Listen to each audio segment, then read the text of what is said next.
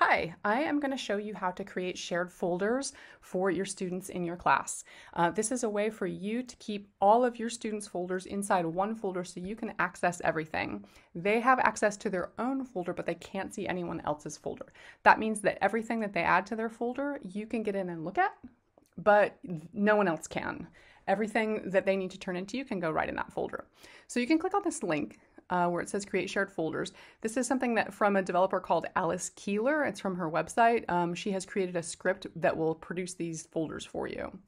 So click shared folders and it will ask you to make a copy of a document. That's what you want is to copy this document. Click make a copy. It takes just a second for it set to set itself up. And when you open it, it doesn't look like much. Um, it has a place for your roster and a place for your student email addresses. Um, and we're going to need to do a little magic to it before it works. So first I'm going to paste my student roster in. This is my imaginary student roster right now.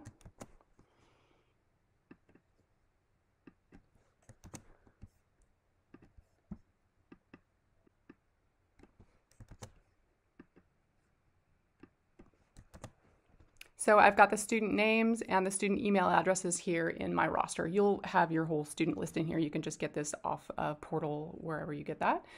Um, next step is I'm going to click add-ons. Um, this is a little script that the Google Sheet will run. You don't need to know anything about it, but you will probably have to go get it and add it to your Google Sheets. Um, when I click add-ons, I'll see it says folder maker here, um, and I'm going to click start and that's going to start the process. But for you, the first time you do it, you're going to need to click get add-ons and just search for folder maker.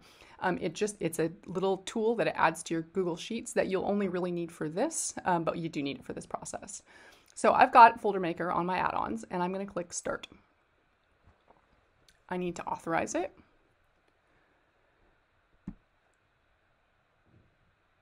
Um, it says it's not verified. That's just because it's a developer's script. So I'm going to click advanced and click go to folder maker. It says it's unsafe, but it's just because it's an, an outside maker. Click allow.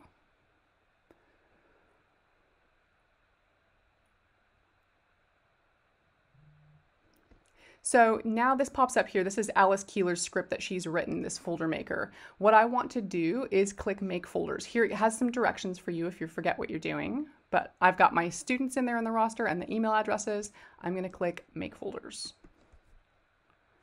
Um, I The name of my teacher folder, I'm gonna do study skills project 340 fall 20 and click OK my student folder name, um, there it's going to make a name for each student's folder that will add to their actual student name so you can tell what the folder's for as well as which student's for. So I'm going to add um, project fall 20 to my folder names. And it's creating those folders now. So you can see here with folder names, it takes the student's name and adds project FA20 to it because that's the name that I wanted to attach to it. It gives you a folder ID and a folder URL. This takes a couple minutes if you're setting up 20 or 25 of them, but for it was pretty quick just for these four. So at the top, you can see there's a URL here. This is my folder where all these are going to be inside. I can open this up and it will open up in my Google Drive. And here inside my Google Drive, I will see those student folders here. It's got the little person inside the folder that shows that it's shared. It's just shared between that student and me. The other students can't access each other's stuff. Here are all the URLs for the student folders. You will need to share those with your students. One way to do this is to just share this whole document. They can click on each other's folder URLs because they can see them here, but they can't get into them. It's only authorized to the person with that email address. So you can make this whole Excel sheet available to your students that they can view it. Um, don't make it editable to them, just share. So I'm going to click here, share. And I am going to change the sharing settings. And I'm going to say it is available to anyone with a link to view, which is what I want done. I can give this link to my students. I can send it on WhatsApp, email, wherever I want to post it. They can get in here, and if I'm student B, I can see, yep, that's my email. My folder name is student B project fall A20, and here is my folder URL. If I'm the student, I'm going to open up this folder. And now when I open it, I should add it to my Google Drive. So here I am going to click the arrow and say add shortcut to drive. That means it's going to add to, to my own Google Drive. I can add all of my stuff there if I'm the student. So now as a teacher, you've got this one folder with all of your students' folders inside it.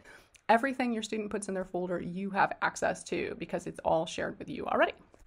So make sure you hang on to this sheet so you can see where yours is. Or once you've got that folder open, you can go ahead and, and organize it in your drive wherever you want it. So if you click the arrow, you can move it and then move it to whatever part of your drive you want to organize it into. And that is how you're going to copy all the folders for your students. Um, this way, you have a controlled space where you know everything is shared with you already.